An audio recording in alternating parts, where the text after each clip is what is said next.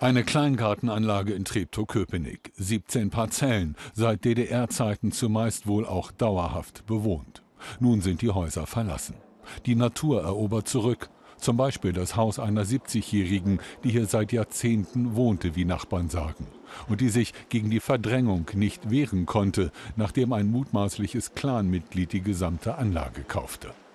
Gegen das Geld des fragwürdigen Investors hatten die Mieter keine Chance, sagt die Modeberaterin Mandy X aus der Nachbarkolonie. Die wollten ja alle kaufen. Also die meisten wollten ja kaufen. Ihre kleine Mini-Parzelle. Das wollten sie ja schon. Das, da war ich ja dabei gewesen bei diesem großen Prozess, wo aber, alle gesessen haben. Aber der Clan, der Clan hat einfach mehr, mehr gezahlt.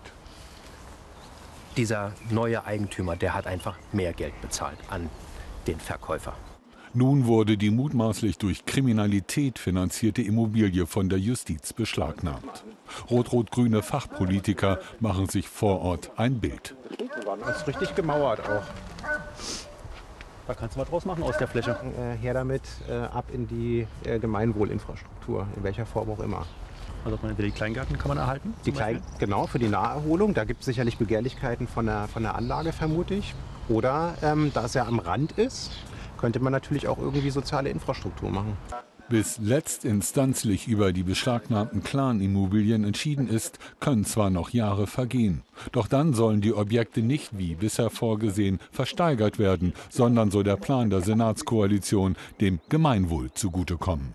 Das äh, zeigt einfach, dass äh, diese Geldwäsche auf dem Berliner Immobiliensektor, der äh, überhitzt ist, äh, offensichtlich immer stärker genutzt wird und da müssen wir was gegen tun. Die Annahme ist ja, dass ähm, diese Grundstücke ähm, erwirtschaftet wurden von der organisierten Kriminalität, in dem Opfer schwer leiden mussten, sei es durch Prostitution, durch Drogenhandel, durch ähm, Zwangsgelder, die die abgetrotzt haben, durch Schutzgeld, durch mafiöse Strukturen. Und da hoffen wir tatsächlich, dass man das ähm, rechtssicher nicht nur beschlagnahmen kann, sondern rechtssicher dann auch der Allgemeinheit wieder zur Verfügung stellen kann.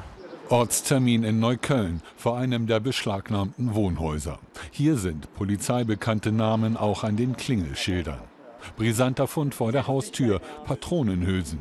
Die Abgeordneten sind irritiert. Ob das jetzt Silvestermunition war oder nicht, das würde mich schon noch mal interessieren und da werde ich ein paar Freunde bei der Polizei fragen. Auch um zu zeigen, dass es Berlin ernst meine im Kampf gegen kriminelle Clans, sagen sie, könnte an dieser Wand irgendwann einmal ein Schild hängen. Na, sinngemäß, es war mal eine Mafia-Immobilie und äh, ist jetzt äh, ins öffentliche Eigentum zurückgekehrt. Zudem geplant mehr Personal, um kriminelle Beute abzuschöpfen.